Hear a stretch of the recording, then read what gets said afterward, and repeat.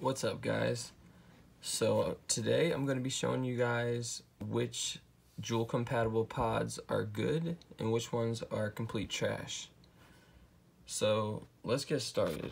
I got four different pods here right now. I got Ziip pods. Jeez, this thing is so light. Um, but yeah, I got the Juul pods Eon Smoked Silky Strawberry pods, and the 4X pods. Sour gummy, the variety pack, this one's got a bunch of them.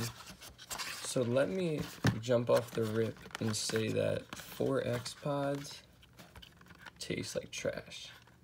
Um, these are awful. I took one hit of each cartridge and then I just decided to never use these again. So let me know if you want them. Maybe I can give them to you. Um, then I got the Froopy Z-Pods. These are trash too. Ziip Lab, come on man.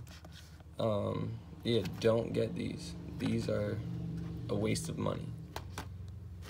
But these, on the other hand, Eonsmoke's Silky Strawberry compatible pods are golden.